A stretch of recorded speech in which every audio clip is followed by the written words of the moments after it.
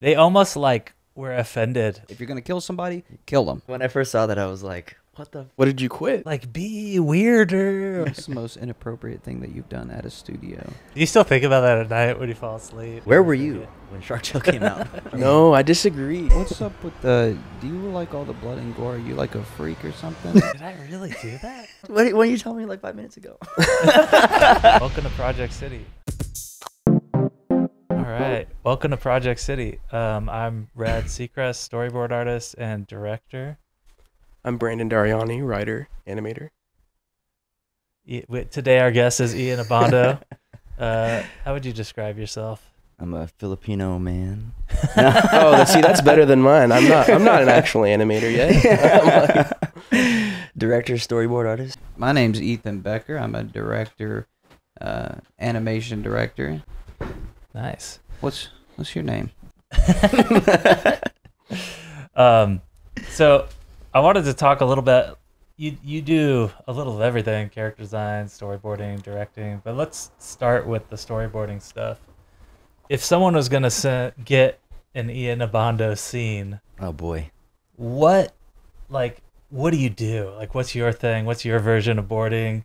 Like, why are they coming to you? What's my thing or like yeah, like what? Or, mm, like if I'm like I need an Ian Abando scene, like what is that? What do you do that's different than it? Because I kind of always look at people like board artists almost like if you have an NBA team, you know, it's like oh, oh, this mm. person comes in and they do comedy. This person comes in and does action. This person's fast as hell and we need shit to get done. This person's Yeah. will make you cry. Like, like Yeah. what's your sweet spot? I feel like people tend to come to me for action, Mm. which is weird. uh, I even from DreamWorks days, it was because I could like move the camera and there's sort of like this, they, like cinema. yeah, Not everyone boards that way, I guess. yeah, Um, or just like punch up stuff. I don't. I don't get tapped for comedy much. oh, interesting. Usually it's for like character scenes, third act type stuff, um, or just like, you know, cinematic action. yeah. None of which I feel I'm. I don't know. I don't know if I enjoy all that stuff that much, but yeah. like I saw a scene of yours recently that you did for somebody, and that just it was just a simple scene. It wasn't an action scene. It was two people like at a desk type scene, Mm. and the acting was like incredible. I was like, Oh. holy crap! Like it's just so solid. It's so it's funny that you say action because like from seeing that, I'm like, oh, if I need something with like really solid acting, I'm gonna get you. Yeah. Well, I mean, I feel like, like, um, that first twenty minutes of up, like Ronnie Del Carmen was always my benchmark. Mm, was like, oh, if I could do a scene like that, that just makes people feel something. But then, and I remember talking to you about it at DreamWorks, where it was just, I think I was working on Croods, too, and I I did some opening scene, and then afterwards, like I was talking to Ryan Savis, and he was like, how do you move the camera like that? And but in my head, it was like, oh, well, that's sort of a means to an end. I don't really enjoy action scenes. yeah. I like animating, kind of. I, I wonder for you because for me, action scenes are the easiest scene to board. Yeah. because there's so much action to cut on. Yeah. Like you can cut on anything. yeah, yeah, yeah. It's just like interesting. Yeah. you know i think anyone can be interesting i don't know Isn't action like a lot of camera choices though? Because unless it's like a stale cut shot, it's just boring, right? i mean there's a technical there's definitely like a big technical demand to it but it's not the same as like doing a dramatic Yeah. like dialogue scene where you have to actually understand the characters and i feel like you have to risk a lot more when you do an acting scene because you have to like commit to an idea you have to embody the characters in a certain way and then make an acting choice and be like oh these shots together say x whereas with action i don't know the dumb version is that you can kind of compile a lot of your favorite types of action scenes and that'll get by. But you can't really do that with a dialogue scene. I can't grab a shot from I can't grab like the conversation from Inglourious Basterds and then just use it on Invincible. You know what I mean? It doesn't work like that. Yeah. For for action scenes, there's a lot of Z axis in and out of camera and things flying by camera and and following action and reacting to action. Um that I think the difference between a great action scene and one that's like I have a hard time watching has more to do with the story. Like I I honestly I don't know the shots could help, but like at the end of the day, if you don't care what the character's trying to get and the way they're doing things, the way they're thinking is interesting in the action scene, like I don't care that the camera was moving and things were jumping and Mhm. the shots were cool. Kind of does nothing no, for me. no, I disagree. Because it's like, okay, so if you're a Naruto fan, there's one fight in particular that everybody loves, and it's the Naruto versus Sasuke fight when they were kids. Mm. They animated that so differently, and it's like really loose. The camera's always moving compared to like the hundreds of other fights that they have on that show. You know, it's just like there's something about that. I feel like you look at it different after you've boarded enough action scenes. You're like, okay, I've been here, been done this. You know, it's like I just want to get to the point of why they're fighting, or that's how I feel Mhm. in my action scenes. Like I, I don't care. I've I've made a million cool shots. I just want to get to the juice of it. But I know what you're talking about. I love that fight scene. That's a good That fight fight scene. scene is sick. I mean, but there's a lot of context in that scene too. You know, the the, the relationship and stuff like that. Because otherwise, it could just be two people fighting. But I remember actually when I was working on like one of my first movies, I was on Despicable Me 2, and there was like this car chase in a mall, and I was boarding it in the back of one of your classes at CalArts, I think. Oh, nice. Um, because I, I was like speaking that day. Was that the figure drawing class or something? Yeah, yeah, yeah. Okay. And I was, and you mentioned exactly that, where it's like, okay, I know it's a chase scene, but don't board the chase. Don't worry about the chase. Like, why are they chasing each other? And I was like, oh, and That I- sounds smart, but I don't remember saying that. and I, uh, yeah, I mean, I, and I started my thumbnails over like that day, but man, that was forever ago. But you're saying exactly the same thing now, so That did I see the scene and say that after I saw your thumbnails, or did I just say that? no, I told you what it was, Oh, and I told you that I was like, oh yeah, and I, and you were like, it's not action scenes are not action scenes. They're they're character scenes, and there's like some action happening. So he's like, and you were like, what is it? And I was like, well, it's a car chase, and you were like, okay, but like, why are they chasing? And then I started to answer. You were like, that's what you board. Like, don't worry about the chase. Have you ever had a job where they ask you to board something like this, like a fight scene or a chase scene, and you there is no like very clear motivation? So what's the solution to that? I feel like a lot of times. Yeah. I've, I've well, yeah, I feel like a lot. Um, I guess it really depends on who you're working for, but most studios, when it gets to the action stuff, they really do just want it to be like cool. Yeah.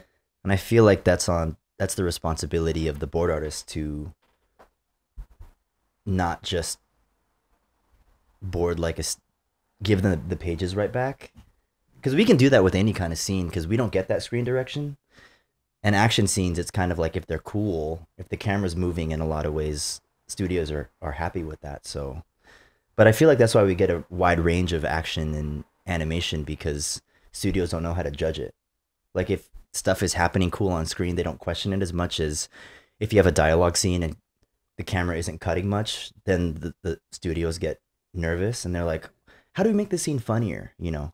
But you don't i feel like with action scenes we don't get that kind of critical um those critical notes. Because if cool stuff is happening they kind of move on and they try to get to the parts that feel slow. I, I do notice that even for myself, and this is maybe embarrassing to admit, but I will make it look prettier and, and make the shots look cooler if there's nothing going on in the story because I have nothing to do. yeah Because I'm like, this is awful. I'll make it look nice. And then if I know a scene is incredible, Mm, it'll be like stick people because I don't care what it looks. I know this scene yeah is gonna kill or crush. I could turn in the worst drawings mm-hmm. because like the scene is awesome. yeah So like sometimes you go to a screening and when it's the most beautiful screening you've ever seen, it's usually the worst movie. yeah. and when the when it's all chicken scratch, those tend to be the best movies. Yeah, yeah. I saw this post online just yesterday where they were like debating between who's more powerful, the the writer or the director. And then it's like, you know, editors enter the chat. Well, that's different with TV or movies. Well, I mean, but either way, I still think that like I I feel like writing is kind of king in that way. Like to Well- the, to the point that you're making is that if it's written really well, you don't have to work as hard. But if the writing isn't good, there isn't much you can do to save it. you know, um, in like. well, you can make that one scene amazing, but Mm, then you go to watch the screening and it's one scene in a sea of stuff that doesn't add up. Yeah, yeah, Yeah. that's true. What what is your like dream thing you want to be handed? Like you say you get handed action scenes and you what did you say like what I don't know why or something like that. But yeah. like what do you like guys, you should be handing me this kind of scene cuz this is I could Mm. crush this. Damn. I don't know if I can think of that off the top of my head. Um. I mean, you crushed that kind of dramatic scene I saw. Yeah. Well, I mean, I because I think that outside of any sort of scene, and maybe this is why I'm not like pitching a lot of my stuff these like right now. I'm very I'm motivated by learning in like a very stupid way. But if I'm not challenged by something, then I'm not really interested. I like to do things that I haven't done before. So You know, I remember you doing like a frame study day like every week, right? Back Mhm. at DreamWorks where you would pause films and do thumbnails. Mhm.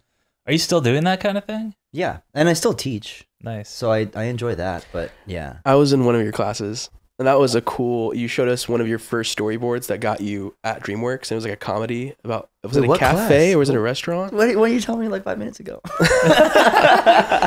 It's trying to be cool. No, um, it was a good. It was a good class, but you just showed us your first storyboard that got you the job at DreamWorks. oh yeah, that peanut butter thing. I don't Yeah. remember. It was like a like a Seinfeld sequence. Yeah, yeah, yeah. Um, I mean, I really like character stuff. I really like, um, where there's where there's a lot of subtext.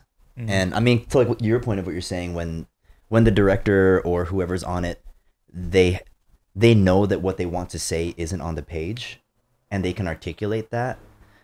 I because that can be anything. I think that those are like my favorite types of scenes where it's like, okay, so the camera. I, I I like using the camera as a character, where it's not just about the performance and things like that, but it's like um very edit dependent. Um, I like sitting in, in edit and, and really chopping things up and being specific about timing and sound and things like that. So, um, yeah. Have you noticed a difference? Because you you jump back and forth between. Um, are you allowed to say the shows you've worked on in the past? Like, yeah, yeah. Um, so in TV, name a few shows for for people that you've worked on. Uh, was on um, my dad, the bounty hunter, uh, Blue Eye Samurai, um, on Invincible right now. Awesome. Yeah, Blue Eye Samurai blew up.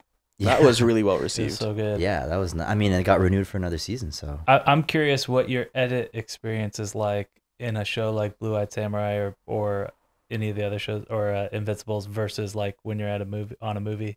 Hmm. Well, I mean, I think that edit is, uh, it's only if you're in leadership. So I didn't, I wasn't directing on Samurai, and I, I, and but I feel like, I don't know if it's a hot take, but studios need to let everyone into the edit process. I think that it makes board artists better. Kind of lets you know like how you're, what your actual, what actual decisions you should be making when you're boarding. It, it- it can stop you from over animating, over cutting. Did you never get called in to edit a feature? Uh, I'd have to ask for it. Okay. Yeah. It probably depends on the director because like when we would work with Tom McGrath Oh, on like Boss on- Baby. and Megamind, Yeah. he always brought us in to edit when they were in like the middle of it, and Mhm. he'd play it, and then he'd explain what he needed. So and That's then you- rare. You, would like kind of, you would keep editing your own sequence with the editor, Mhm. and then the editor would just call you in, show you. Um, and that was interesting because like after seeing two, three scenes of what they were doing with my scenes, it changed the way I boarded. Because I oh, was for like, sure. Yeah. oh, this kind of shot is always going to get cut. Yeah. They keep asking for this kind of shot. Yeah. Like I noticed, like on Megamind, they're like they kept asking me to insert close-ups to get the facial expressions Mm-hmm. because I was cutting it more um, POVs and and and wider kinds of shots, and I wasn't like checking in on expressions a lot, Mm-hmm. and like that kind of changed the way I boarded. Yeah. Um, so for you, it was more on like Blue Eye Samurai and and Invincibles. You were directing.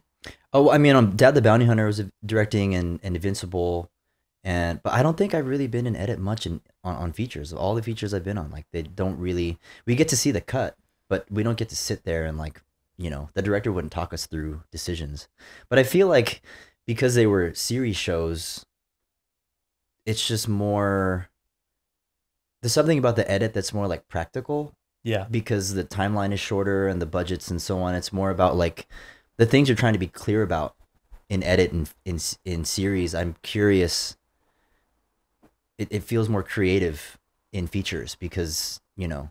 I mean, granted, like feature animatics too, they tend to be a lot rougher and like not as like polished. Yeah. Um. I noticed too in television, they would leave timing in for the animation. mhm. Like if the board looked a little funky, but they knew they needed the time for the animation, they'd leave that time. yeah, In feature, they would never do that because it's like it just needs to look good for your animatic screening and get approved. yeah. And later, when they do the animation, the timing could be totally different, and they'll they do a more passes, more iterative passes, but it's about make this joke land in the storyboard. And Yes. now we got to make it land again in the animation, but those are two separate Yeah. issues. Whereas in TV, they were like, this looks weird as a board, but we have to leave this timing because when it gets animated, it'll look better then. mm-hmm. Like it was a different way of thinking. Yeah. Yeah, yeah, yeah. It's almost like in feature, it's like a it's just like another round. It's like a it doesn't represent the final product. So you can just make something really pretty. But I mean, they stress that all the time. Like es- especially on Invincible, it's sort of like we know you guys want beautiful, you know, so and so and so, but it's like that's not what the vendor needs communicated. Mm. So don't worry about like pretty boards or pretty whatever. It needs to be clear for the vendor. And so I think in in some ways it's I mean, I like working with limitations, but it does feel in TV. And I I'm curious about your guys' experience. It's in TV it's almost like it's not the full weight of what a storyboard could be because things that would look cool like you're saying are very easily lost in translation um, unless your action notes are like tip top. Did you Unless guys? it's like keyframed. yeah, yeah, yeah. I mean, do you guys do that in all your shows? Are action notes or X X, uh, X It, notes? it depends who your vendor is because certain vendors, like when we worked with Mir, hmm they almost like were offended. Oh, Like, they- if, like they told us, like if you send us a timing sheet, that's we are not going to use it. Oh, Like we do that. You Yeah. know what I mean? Yeah, and we were like, yeah. yeah. dude. Like yeah. you guys crush it. Like we'll we'll. So they wouldn't have read even if it was rough, even if the stuff you gave them was rough, they would still they could read it. Yeah, no, they they just were like, we're the we we do that. Mm-hmm. You know. So, but then other vendors, they're like, you didn't send it, so it's gonna be it's on you that it's a Mm. problem. You Mhm. know. mm-hmm. Yeah. So you got to know like whether it's a CG show, a hand drawn show, a a like a flash puppet show. Like I feel like they all need to be boarded a little different, Yeah. and the thing you send needs to be a little different. Yeah. But that's where I feel like feature. I was like spoiled. Yeah. If anyone's in feature, and then I didn't work on my first TV show, I think, until almost 10 years in. I was on like a Spider Man show. it's way more work. It's It's- physical manual labor Yeah. to work on a TV show. Yeah. yeah. Really? Oh, uh, like a like what you could do in one week would take you six weeks on a TV show because of the amount of manual labor of keyframes on model, like all the like you're doing layout. You know, Mhm. like on feature, someone else is going to do the layout. Mhm. Like you're just kind of doing a story pass. Yeah. Like, is, should this scene be in the movie? Yeah, yeah, yeah. Or it's almost like boarding for ideas. Yeah, I feel like boarding cinematically and like staging your shots in the way they should show up in film. That's still like a pretty new thing in features. yeah, Like everything I see coming from like I'm Disney, I guess. It's still they. It still feels like they board for the idea. yeah. Then they board. You know, how the shot would appear on screen. yeah. Um, I want. Uh, I was gonna say I want to roll back a little bit and Yeah. talk about how you got into animation. What was uh What were you doing in high school? Like, were you like, I'm gonna go into animation, or what were you thinking? I didn't even know. I, I had no idea what that was. I just knew that I liked to draw. I had a cousin that, uh, growing up, he lived down the street from me, and he turned his garage into a comic book studio. Oh, sick. Um, and he had a bunch of buddies in there. They had a studio called Black Velvet. They were making comics and Pogs. Eric Canete was in that group, oh wow. and um, so I knew him since I was like like seven or eight years old. So you were an LA native? uh, yeah, Long Beach. Okay, Long Beach. Yeah, and then um, but then I just wanted to do comics. I didn't. I had no idea. My cousin pointed me in the direction of Art Center, and that's where I found out about like visual development. And I was like, oh, maybe I'll do that and animation. Then I found out about storyboarding, and um, thought I hated it. And my first portfolio got me like an like a interview with Adventure Time, like the first season.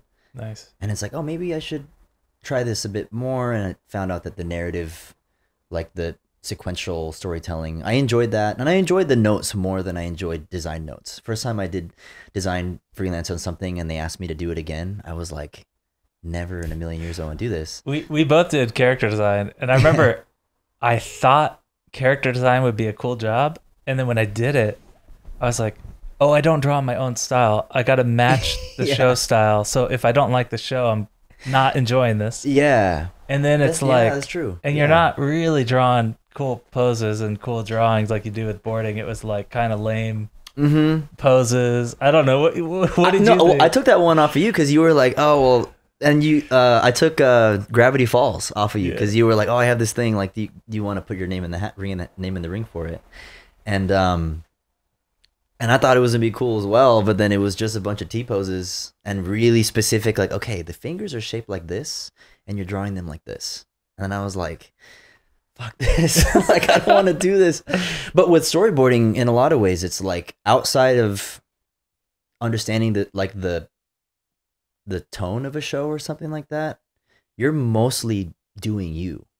That's what I appreciated about DreamWorks. Yeah. And they had the drive of everyone's work and it's like there's ne- no board artist draws like another board artist, which I think is really cool. yeah. Um but and and yeah, I, I think that was something that I appreciated is that like I kept thinking I needed to draw like somebody. I remember you telling me your first you still can't shake that like Danny Phantom Oh yeah. like shape language or like you're you're branded by your first job.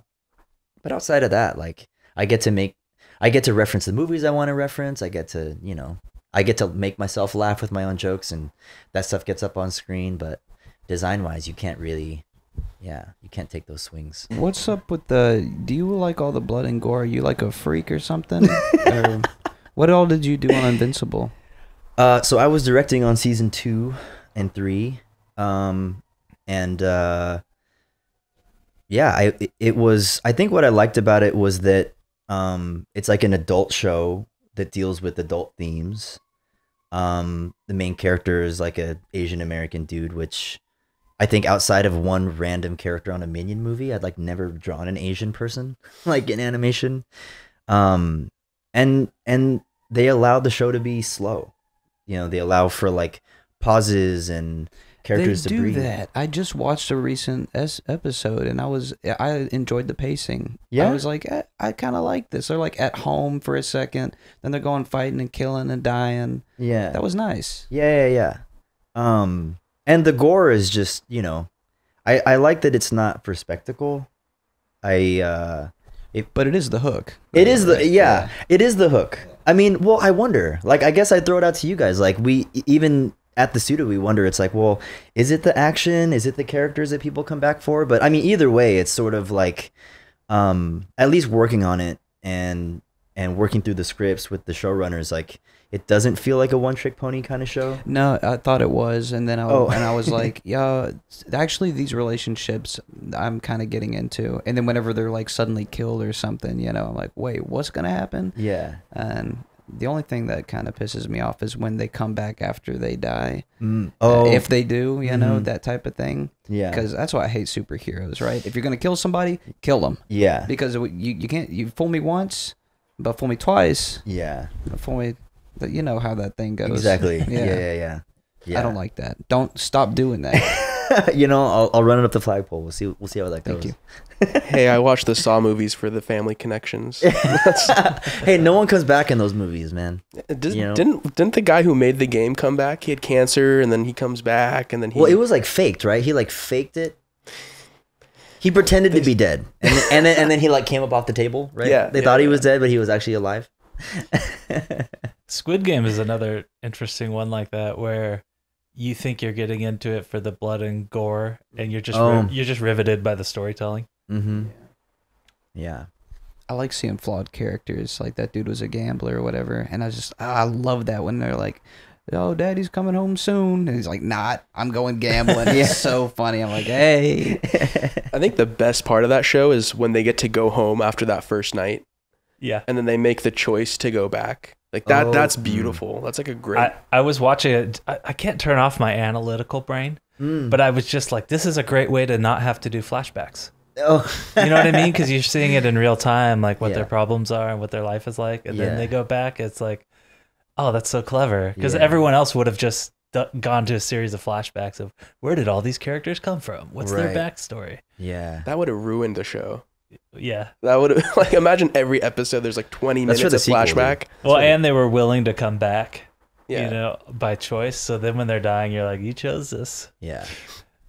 Yeah. what was the most difficult thing about working on uh, Invincible for you?" Hmm.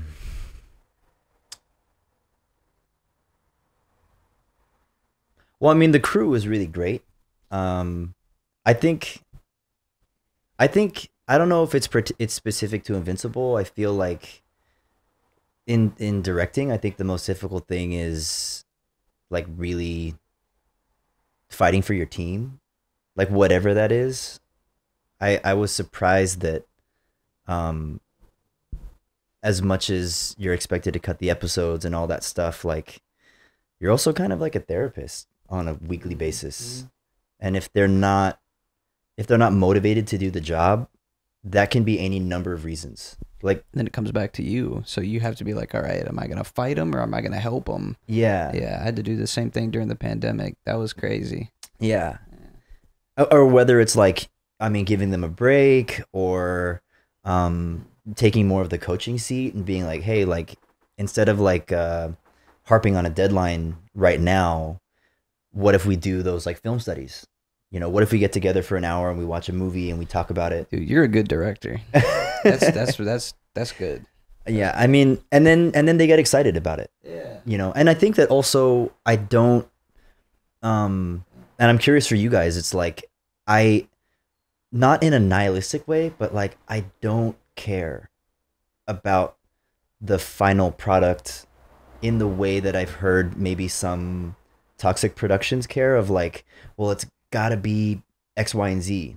Um to me it's like a good director gives their team as much ownership as possible lets them appreciate what that means not so we can just make a good episode but so when we leave the show or when they leave the show they have the confidence in themselves to work on another show to maybe see themselves as like a, a see the leadership qualities in themselves. Um and so if certain things slip between the cracks like certain creative choices for example like oh i wish this scene would have had more of that or um the there was more intensity in these moments in my head. It's like well if i cared enough to to get my hands dirty that way and reboard things then but I, I i'm i'm not that kind of director. Um if if certain things are a little bit funky and i I feel like by and large i let things ride. Um and be like okay well i want you guys for better or worse to see like what your choices were outside of like maybe timing things and maybe making it more ec- economic so the shot count is down or maybe st- strengthening a pose here and there i'll do that. But i don't want to be getting in and like reboarding things to my liking because a for me like that just that throws my my work life balance out of whack in a way that i don't want. And at the same time it's sort of like well what was the point of having a team if all i was going to do was like go in and change 40% or more of what was there? Like and and and on me too because i i i like when you ask like what studios bring me in for i think at this point in my career there's an expectation that i come with good company. And so they trust me to bring people on. Like well where is my creative integrity if i bring people onto a show being like we're fucking awesome and then i just change everything you know and so i feel like um and that's the fault on me in directing is if I'm not happy with what I get in the final edit, I'll just bring that to the next episode and try to be clearer about. And, and that's where in pre-launches, um, my write-ups are pretty long. That it's like, okay, this is the plot of the of this of the scene, but these are the character moments we need to be tracking. Do you get that? Do you get how we how we're supposed to feel? Do we get how the audience is supposed to feel? Do you need a film reference for this, or can you take it? You know, um, I try to be as buttoned up on that as possible, and then I I leave it up to the board artists to to take their swings. I got a question That's for you. How how much do you communicate what you like and don't like ahead of time? So when they turn it in, they already know like what you're into. Because this is something I learned Mm. where I'm like, I kept going like, no, I don't like this kind of joke. No, I don't like this kind of joke. Yeah. At, like every time it would come up, or no, I don't like these kinds of shots. No, or or I like this kind of shot. I like, and I realized, oh, I got to communicate all that ahead of time Mm. so people just know what I'm into, like Mm. before they turn the scenes in. Yeah. Like, do you, do you think about that? Do you like let do you do you actually like write up a doc for your team? Like, these are shots I like for this show. Like, we're doing Mm. Blue Eyed Samurai. It's got to be.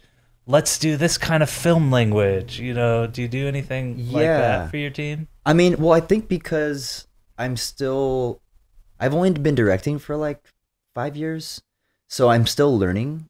I, that might be a more of a showrunner thing well, I mean, versus but, a director thing. but I, I get that too. Like, it, I don't, I, I wonder if it's about experience or like or temperament because some people they get into the seat and then and they they command the space that way right away. You know. yeah, And I think that I'm still, um, even with constructive feedback, I think that I'm still getting comfortable in my skin in that way yeah, of being vocal about that.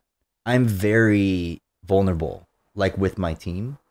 Um, and I think instead of getting on them about that or telling them like do it like this, because I'm still learning, um, I think what I I, I frame it from the perspective of what I'm learning gotcha. because I don't ever want someone to think that they have to like.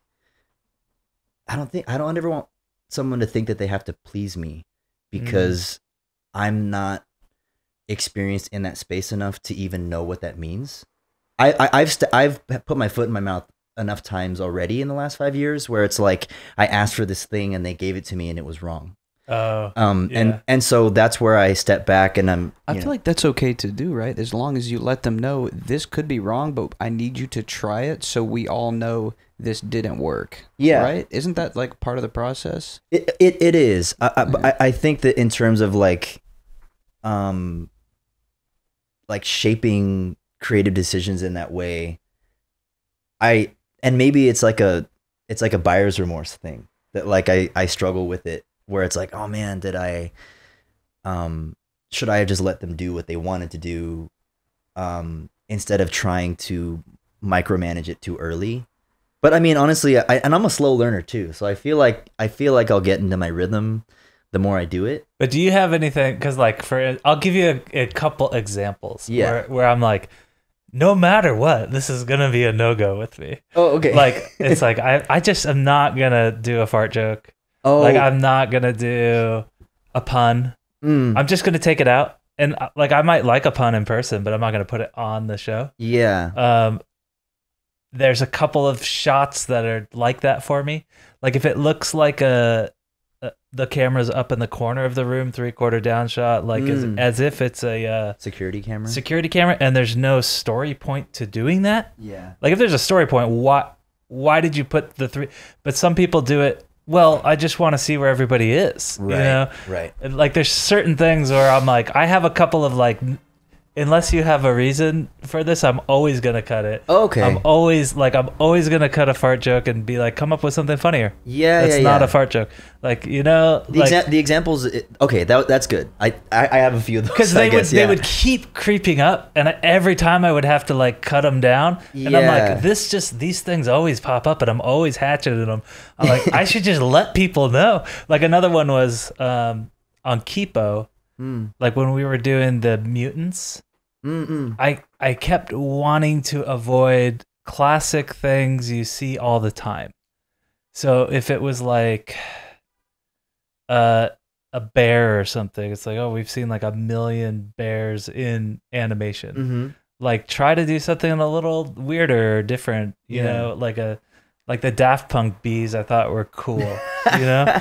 Like like do something a little more eccentric or strange. When, like I first, don't when I first saw that, I was like, "What the fuck?" I Yeah. mean, but, but I knew that you were just laughing back there. But then like people would pitch like circus bear. You know what I Mm. mean? So like you you're trying to be like, oh well, uh, what do I think? Like what am I trying to accomplish? yeah, Like be weirder or Yeah. like more outside the box. Like if you feel like you've seen it before, try to avoid it. yeah, You know, like yeah, uh, but there was uh, I'm like okay, so now when I work, I tend to just sort of establish. The, here's the things that I'll tend to not be into, and here's the things Mm. I'll be into. yeah.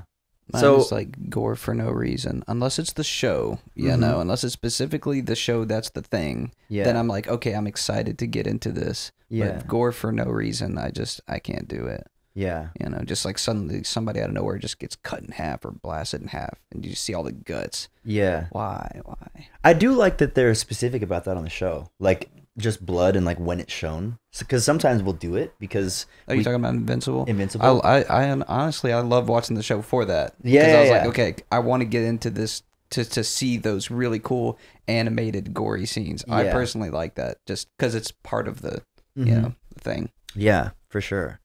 Um, I think to that, I think I don't like um like broad acting. Yeah. Sometimes people will take swings of like over articulating something, um, or if it's just like too goofy, which is I feel like you gotta read the room with that. Well, like, I think that depends on the context, and because you worked on Minions, Well yeah, so like that fits, I mean it, right? it fits that, but at the same time there's always regardless of what you're working on, there's a line when you take it too far. Mm. you know and um but i mean yeah if you were on minions or a lot of these kinds of like more for kids animated things and i'm not gonna you know it's more vaudeville. It's Yeah. more like striking big classic poses, like Bugs Bunny, yeah right? Or even like, um, I I kind of liked it in uh, Cloudy with a Chance of Meatballs because Mhm. like it just was. That's what this looks like. But then the same people did Spider Verse. yeah and you could see they're not doing that. They're, Yeah. they're, they're thinking about it. Yeah. It's not just some people think this is how you draw poses versus Yeah. like yeah does it fit the context of the show or the movie? yeah but i mean i guess i tend to uh, end up on projects more like that now like Um, Spider Verse. spider verse or just more adult projects um, or even on like blue eyed samurai was you wouldn't you would think um based on the way certain sections of the script were written it's like oh maybe i'll take a swing this way and it's it's more a reflection of the fact that um in animation that's what we're used to drawing Yeah. so we have to turn that off you know um i don't like that i don't like cutting too much Yeah. um I try to tell people to think of their scenes as like like a Seinfeld scene. Like find like three to five cameras and like only cut when necessary. Um and in general, like my episodes tend to be lower on the shot count. Um so I I mean, if you're working for me, that's for sure. It's like don't cut a lot. If there's a a conversation, I don't need to cut every people do this a lot where it's like someone's going to talk and then they're on screen and then someone else talks and then they're on screen. They don't think of those moments where you can have a shot breathe or like pre-lap post-lap audio where the audio is on the back of a character's head kind of a thing. So um and it's very like picket fence. Not only with dialogue but also with performance or something. It's like this happened so i cut. And then this happened so i cut. I need to see this person open a door so it, and then now we have like 15 disconnected shots Where do you think that's coming from?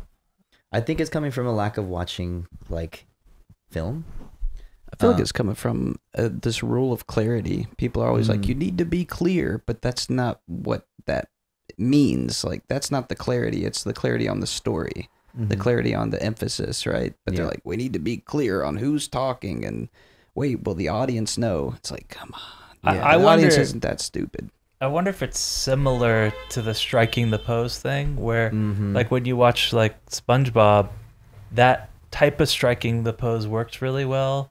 yeah and that type of centered simple framing and cutting works really well and then people are trying to bring it into like a more cinematic thing and it's like it that doesn't work you know what i mean? Like the the pose striking spongebob poses don't work in the cinematic thing and the same thing with the cutting where they work really well in one type of thing Mm-hmm. it just doesn't translate.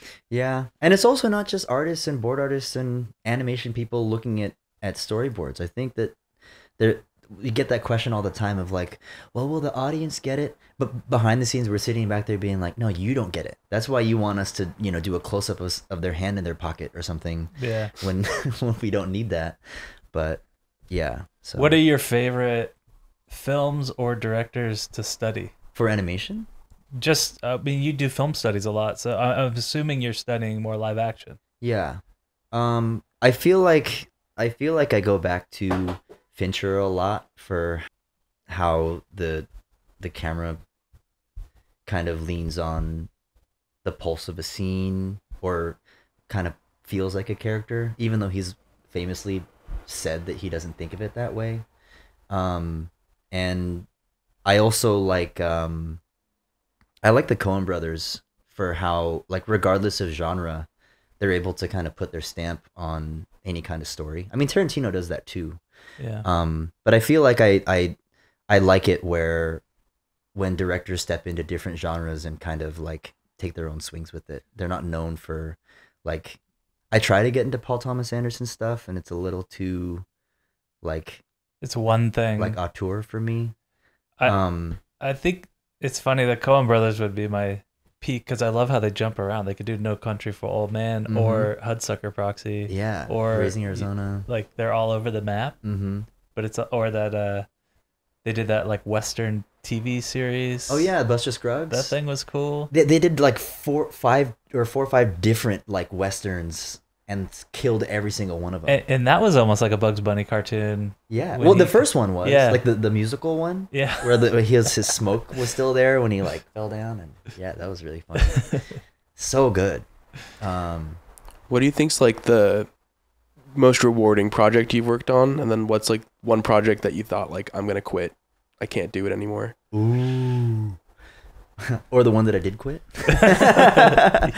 Um uh rewarding I think it was on it, uh my dad the bounty hunter at Netflix because I worked with a bunch of friends that uh, and I never directed before and uh, I helped them kind of greenlight the project when it was at um, Everett Downing and Patrick Harpin. We worked together at Sony and uh, have our have our our stories from from there. Um, but they just put a lot of faith in me on that. They put a lot of faith in everyone, like a lot of first time leadership on that show, and I I learned, I think from from that like how far empathy in the creative process can like at the end of the day you can't guarantee something's going to be great but you can you can guarantee that people learn and appreciate their time on a show so i learned that from from there and then and invincible was like that too because they brought me on and showed a lot of trust i i, I changed the way that they expected um what the deadlines were for the for my first two seasons because they were like, well, we need it. We need a clean split between like roughs and and cleans, and I'm like, well, I'm more used to an iterative process in feature. The iterative process is more important than the cleans. If we can get the ideas right, then the cleans will be easier. So they're like, what do you want? And I was like, I want like, I want nine weeks for roughs, and I and um, f- like four or five weeks for cleans. And they were like, all right, I don't know we'll we'll see. My boards ended up being a bit rougher, but like story wise, they did like it was like oh, it, it's more character based storytelling, and It's a better show. yeah, We we kind of had a similar approach on Kipo where we're like we favored the storytelling over how well it was going to be animated. mm, So we're like, we'll give you more time to do the iterative and change stuff. And if that means we're sacrificing, like we have a couple wonky poses and the animation comes back messed up, mm-hmm. I'd rather have a show with messed up animation where you're actually enjoying the story. Because I've seen these shows where it's like a week on roughs, and now we're just spending all our time making the Yeah. the in betweens of the key frame, and it looks beautiful. Right. But you can really tell, like, well, they sacrificed the story on this. Yeah. yeah. No, for sure. What, what did you quit? Oh yeah, man, I forgot Um, Or like a project that was just that like, you wanted to quit. yeah. there, there, there, there are just studios out there where, like, they don't know. They don't know what they want to say, with like the project, and so, um. So you, you kind of end up like boarding it, and then they they'll do a gag pass, and then you board it again, and then they do a gag pass. They think that that's what it needs, and they're they're trying to just out funny themselves, you know. I mean, I feel like the experience on the Penguins movie was kind of like that. Yeah. I I mean, everyone talked about it that way. But any kind of project where you feel like, or I feel like the directors, the people up top don't, they're not like fully invested in trying to figure out what they want to say with it. And they're kind of just like making a movie. I'm get, I, I feel like I sniff that out pretty quickly nowadays. And it's like, uh, like I love you guys, but like, this is actually, this is actually my muscles are atrophying kind of sitting here so i think i i think i need to move on Do you think that's a thing that happens more in movies than in TV series? i mean the thing with tv series is that they're short enough to it doesn't really matter you Oh. know because then it, you're only on it for so many months whereas Yeah. in a movie you could be locked in for a year or more Or five years? exactly Like I've been on a lot of movies for five years. yeah yeah yeah Um, but that's also more of like the learning based stuff if i'm not learning something like and that i think that's when the studio gets in the way of me learning because they're like no no keep doing it like this and it's like but you don't you don't even know if that's what you want Has there been a project that you have wanted to work on but you haven't? Like an IP or anything that like would be your dream to work on? I mean, it was Spider Man. Like I was. Oh, that was one, dude. Okay, so um, back in the, back on the first Spider Verse movie, like me and a handful uh, that's how uh, Dad the Bounty Hunter kind of was born. A handful of us were brought to Sony under the guise of working on Spider Verse, the first one. Um, and then it was like, oh, well, you know, we kind of stepped up, but we got this other one, and we were like, oh, what is it? And it was Emoji Movie. Oh, jeez. And so a bunch of us were like trapped on that movie. That's the only movie in the animation industry you can openly say is bad. like every other movie, you got to pretend because it's your buddies. You're like, ah, good job, guys.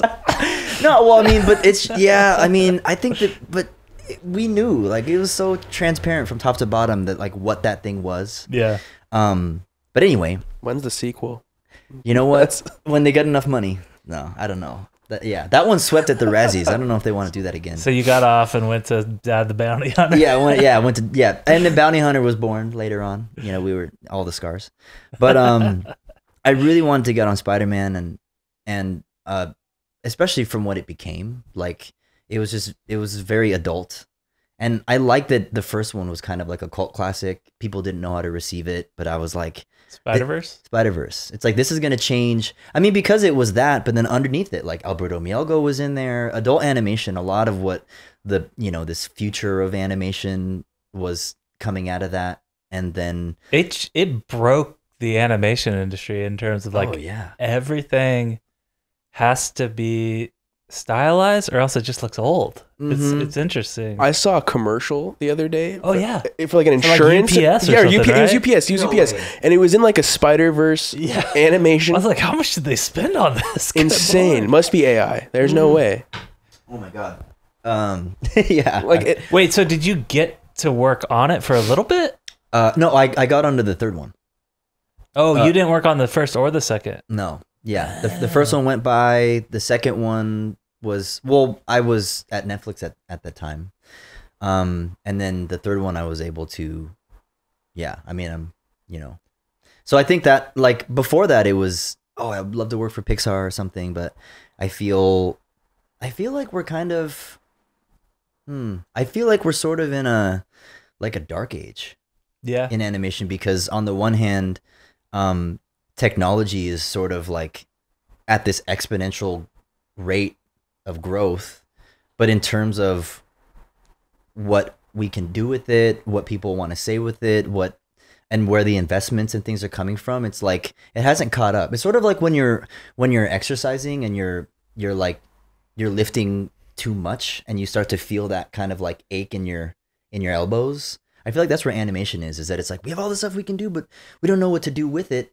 And so there's this oversaturation of like there's oversaturation of um of uh Adult comedies Adult that don't com- get more than one or two seasons.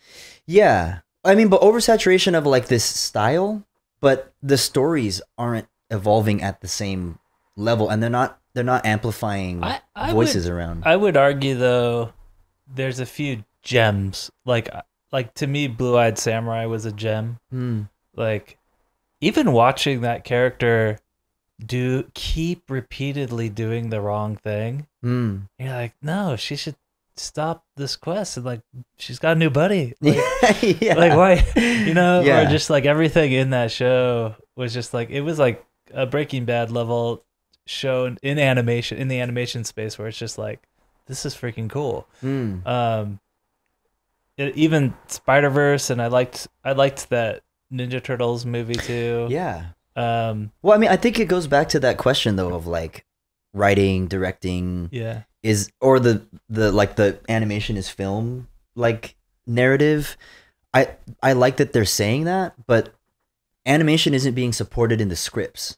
We're not getting like we're not seeing that writing where all these people are trying to get more unique types of stories. And and an adult story doesn't have to be, you know, something really gruesome or, you know, um something really sad. I- but I would actually. It was interesting working at DreamWorks during that time, and I think they were a little influenced by the success of Illumination, um, where Illumination would put out something that, like, you look at the Mario Brother, you look at the Minions, it's it's a s- very targeted choice to be like, this is a type of thing. It's like a pop song, right? hmm. like it's it, this is catchy it's a lot of people are going to show up with their kids it's it's going to make a lot of money because of the way we do the music the way we do it's colorful the way we make it silly Hmm. we don't and i th- i think dreamworks tried to kind of chase that model Hmm. with ruby and seeing it crash and them going okay i guess that's not a model to chase Well, think about it though. Ruby came out at the same time as the Little Mermaid live action remake, Hmm. right?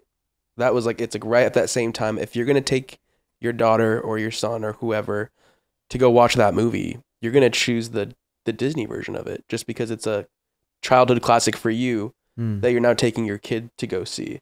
it yeah it's it's interesting to talk about financially why things fail or don't work like that first minions movie is an incredible film Mhm. like it's solid Yeah. like you get the heartfelt feelings from the dude with the three little girls like you really feel it Mhm. and that kind of carried that studio for like a long time up until they had a success like Mario movie which is probably the largest IP in history like like every single person from age 0 to 40 or 50 had some some iteration of Mario in their life in a big Mhm. way Mhm. like I was the first generations of Nintendo, like Mario, Super NES, like all that stuff. So like I'm gonna go watch it, and then my daughter playing Mario Kart, she's gonna go watch it. Mhm. Like that thing's a freaking juggernaut, you know. But if you were trying to jump out the gate and like, if you're looking at Illumination's success, well then you need to make a movie at the level of that first Minions movie, Yeah. and not the third one. Yeah. You know what I mean? Yeah. Because they go, "Oh man, that third Minions movie crushed it." It's just like silly yellow people running around. Yeah. Yeah. That's like Hotel Transylvania, right? Yeah. They have like so many of those. Yeah. The first one was like pretty solid and then just fell off. Mm. How many are there? Four? This is four. Yeah. Well, they're the, Sony is crushing it with the Spider Verse stuff. I feel like um, I can't talk about other projects there, but I feel like they kind of that's their house thing now. You know, like they're gonna make those kinds of killer movies. Yeah. Just Well, like yeah, you- stylistic. Just like Yeah. I mean, with that and like maybe a little older. like a little more mature. They Mhm. kind of found that sweet spot. Mhm.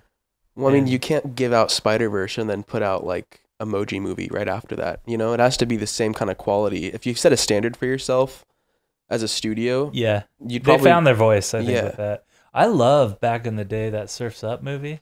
Oh man. Surfs Up is great. We talked about that though. That that was like it happened to come out at the same time as Happy Feet, and so It, was the tenth Penguin movie. Yeah, but And people I mean, were done. Surfs Up is so good. it's so good. It's so good. Even to even still to like now, it's beautiful. Yeah, It's crazy. Um, But like DreamWorks does that all the time, right? Where they put out a movie kind of similar to what Disney's putting out. Like when Disney put out Coco, didn't DreamWorks put out? well, so, Sony's different than DreamWorks. I think they only admitted to that once with like ants, where he where. Oh no, they did it twice because they did it with um, Shark Tale and Nemo. oh God, show. yeah, the forgotten. With the Angelina No, Jolie fish. Never forget, dude. Yeah, Where never were you when Shark Tale came out? Uh, let's get personal. Let's, let's dig in. yeah. Um, What's your biggest fear? Dude, I told you, my feet. I'm just kidding. What's the most inappropriate thing that you've done at a studio? Most inappropriate thing? Yeah. Or maybe second most. Hmm. Inappropriate, like like criminal. I mean, it could if be. you have a criminal story, no, I um, I think it was like the biggest like foot and mouth moment. ooh, And- this is a good topic. I got a few of these. Yeah, and it, and it happened on emoji. It's funny. Uh, uh, a bunch of us were in a in a room for like a like a punch up thing, um, and Conrad was on it at the time. Okay. Vernon, he was like a he was doing sequence directing for a few, and um, I didn't know that he I didn't I wasn't familiar with his f- filmography at the time, and so it was before the pitch happened or before like the meeting started, and I made a comment of like, oh yeah, like we're we're trying we're trying to like make this good, we're trying to make this good, right? Like we're not we're not intentionally trying to make a shitty movie like Monster vs Aliens or something. You didn't know he directed. And I said that, and then everyone was eh, like, some people laughed and some people didn't. And then he was like, "Oh, I like that one. I enjoyed directing that one." You know? Oh, he just put his.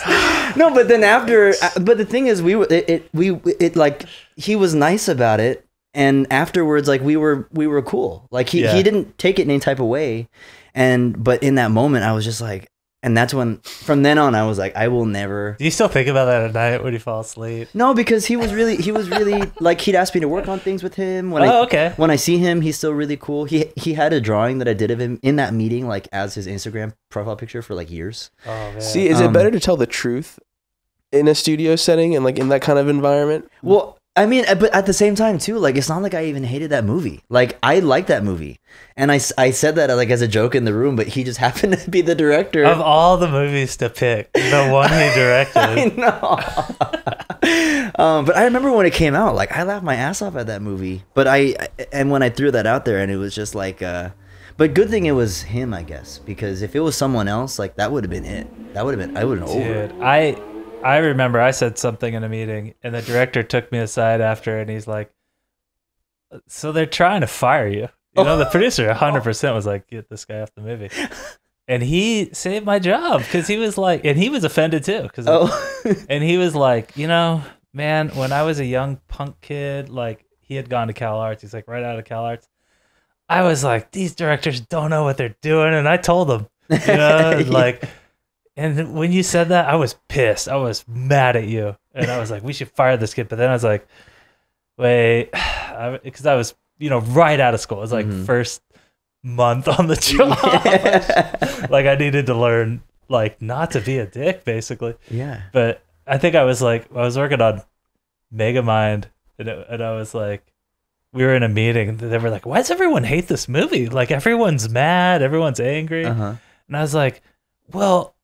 Can't we just try to make a good movie? Like something similar, but like just such a like, what are you doing, bro? Yeah. Like you, you're literally like a few weeks on the show, and he was like, I remember being like that. So just Oh, Tom said that. no, someone else. Oh, But, uh, that that movie had a couple directors, series of directors. oh, But um, he was like, don't like don't do that again, bro. yeah, yeah. and, yeah. I, and I was like, oh man, that what a what a nice thing. 'Cause I could have just been fired and out. Like Is that that all day. you said? What did you really Nah, say? nah, I said Yeah. something. that- I was a little bl- more blunt with Yeah. it, and it was like a room full of the entire crew. It, but that's what you were insinuating. It's like, Yeah. why don't you just make it good? yeah. um, oh man, I still uh, cringe when I think about things I said early in my career that you learn not to say later. but you have to. Yeah, you kind of got to put your foot in your mouth, right? When you're young. Unless someone tells you not to, like you have to. yeah. Yeah. I mention that stuff when I teach, just in case. Like, hey, don't be like this. But I don't know. You know what I learned is to not use like negative words. Like I instead of saying I don't like that, Oh. say wouldn't it be cool if? it wasn't bad. Yeah, no, just like oh, that's negative. Okay. you know what I'm saying? Like I, I always just flip it into like not using any negative negativity in it and Yeah. like trying to be positive. you Yeah. know? Like instead of this part's a problem, say, oh, you know what would work really well if we did this here. Mm, oh, look at that. Like I, I noticed that kind of it makes people's Yeah. en- energy not defensive, Yeah. especially if you're dealing with like multiple people. Mm-hmm. Pro trip tip. What would be a cool project for you? Let's say 20 years down the road. Where do you where do you see yourself? mm. 20 years down the road, retired? I got a I got a question that has to do with that, but like earlier in your career, how much did you care about your career versus what do you care about now? Oh yeah. Okay, that's a good one. um I think in the beginning I assumed that I would just be like I'd be a journeyman whatever just working off into the sunset kind of an artist. And it felt like the animation industry was my oyster and you know like Ken Morrissey was my first office mate and uh, first day he asked me like how old I was and he was like, "Oh, when you were so you know such and such, I was animating on Space Jam," and so it gave me this idea that it's like, "Oh, that that'll be me." You know, in the future, I'll just be working with someone that was born in 2030, and uh, but now it's like I've had like I've had like a handful of existential crises since starting working. And my relationship with my art has changed a lot. Like what is healthy and what is not. Um because I I just kind of cared about being better for me for a long time and I was like studying really hard and drawing all the time and I wasn't thinking about work. Um whereas now it's like I think that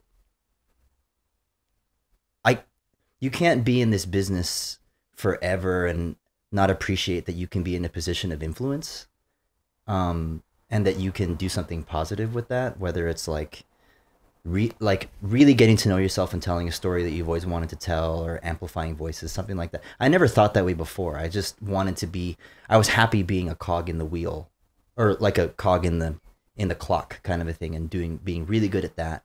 Like the technical skill of it. yeah, there were those people that like never wanted to be directors and just were like, I just want to be a board artist forever. I thought that would be me, but I think that like I'm getting more into writing now, and I'm um, I, I don't know where that will take me, but I feel like I won't be like boarding for much longer, and I think that like um, doing more creative consulting and and show running, like I, I I imagine that's where I'll be.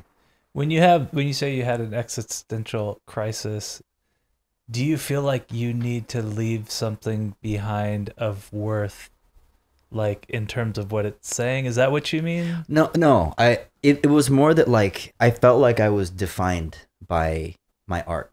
Okay. I was defined by Like the- I am Ian Abando artist. Yeah, like Okay. like and I it was negative. It it wasn't a good thing for when someone to say like who are you? It's like, well, I'm an artist.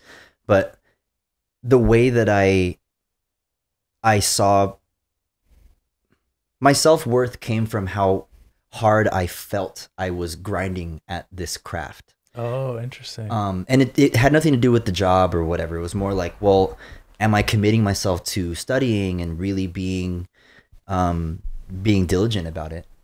Um, and to the point where I was just like drawing all the time. And it was tough with social media and whatever is that that was my that was like a reputation in some ways that I carried, but people on the outside couldn't see that it was like killing me to oh wow. to be like that. And so when people assume now that I'm just like super busy and um working all the time or drawing all the time, in a way it's like okay, if that was a symptom of it that I appear more busy than I am, then I'll take that as a blessing. But and I I say this to my students all the time, it's sort of like know why you are committing to like your art. Have a healthy relationship with it. I think that my relationship was always healthy, but my work habits were unhealthy. like working late into the night and weekends. You Mhm. mean? Yeah, because and and previous partners, it's like it's not like I was even on the job. They were just like, "What are you, you know, doing?" And it's like, I'm just, I'm just doing the, I'm doing these studies, you know, and um, so yeah, Were you dating other artists? only once, O- Yeah. only one other time, and it it, seemed like it was understood, but it, I mean, it was grating because I was like, I mean, art center days, I I carried that like 16, 18 hour like schedule like well past college. Oh. So, um, but yeah, nowadays I feel like I have a healthier relationship with it. I have a healthier relationship with my, with myself, and I don't, you know, it's almost like I'm like recovering, like I'm an Yeah. addict. Like I'll be I'll be out at like a a, fu- a function with like just a ton of people around, and I'll be like, oh, past version of me would have like, you know, grabbed the napkin and like been like hungry to draw something. you Yeah. know? But now I'm just like, no, I can just hang out and be. Yeah, there's a lot of. I, I guess you. Would, I feel like I haven't had that existential crisis. Like I'm a little bit of a workaholic. Oh, like you you- you've you've maintained like the steady. Well, like I feel this is maybe too much information, but like I just like to have these little goals in front of myself I'm focused on. Like it helps me. How's with that TMI? anxi- That's like that's anxiety pretty normal. or stress. Mm. Oh, like it distracts you? Yeah, yeah, like it like I Oh. like to have like these kind of things I'm always kind of just I'm trying to do this, trying to do that, trying to do this as a way to Mm. not think about the stresses of life. So Yeah. you don't think like long term. You think like short term goals. Yeah, but I mean, I know that each project takes 7 years, 5 years, so they're they're never like this week. It's always like a long long-term goal. Mm. Long term goals like split into these little shorter sprints. Well, I'll be, you know, I'll be writing scripts at night or working on on stuff outside of work. But just like for me, I I do it almost as like a coping mechanism. Mm. You know what I mean? I mean, well, see, that's where the crisis came from. You know what? I wonder if how you grow up too. Like, because my parents both were always working, all night, all day. If I ever saw them, they were working. oh, so you just I grew up in that kind it? of environment. Mm. I don't know. What were your were your parents like that? My dad was. Yeah. But I mean, I don't know. I I don't think I absorbed it in that way. Well, actually, no. Oh my god. Yeah, I did. I I I uncovered that in therapy actually. Mm. because my dad was like that and it was a thing of like um and i'd had past partners ask me that where it was sort of like oh if this goes the distance like do i have to worry about you um being at, at your desk all the time um so That's very much a Hollywood too, thing too, like where you hear about maybe you hear about it more in live action where it's like, oh, that person's like never gonna see their family. They're always gonna be Yeah. filming or on set. yeah yeah Where it in feature it's like it's expected you're working weekends and nights if you're directing. Mhm. Like you're just that's your life. yeah yeah i mean it's interesting that, that you do all that you do and you ha- and you're you're not like a one and done showrunner most people do it and they're like i don't want to do this anymore but you're like i can go again You know what's weird is I had my kid right when that show started. mm. So I was almost forced to go against my natural nature oh of going home and uh, like having to do kid stuff, mm-hmm. which like fought against every ounce of my wow what I would have done if I hadn't had a kid. I probably would have been working all night, Yeah. like all weekend. But because I had a kid, it was like, oh, I guess I'm done at six. Yeah. You know, I guess I'm done Yeah. like on the weekends. Yeah. He starts show running again. Oh my god, I'm pregnant again. I gotta go- yeah. Thanks for coming. Yeah. Where can folks check you out at? What are your socials? Uh, do I like point up and then they can like see it right here? Yeah, Yeah, you can do that. Yeah, yeah, yeah. It's right. It's right here or here. I'll give them to you guys. Any uh, last bits of wisdom you want to leave people with? Care about what you do. Be intentional about like where you where you give your energy and what takes your energy. I Hmm, think that that's that's huge. nice. Yeah. All right. Thanks. Thanks everybody. See ya. Thank you.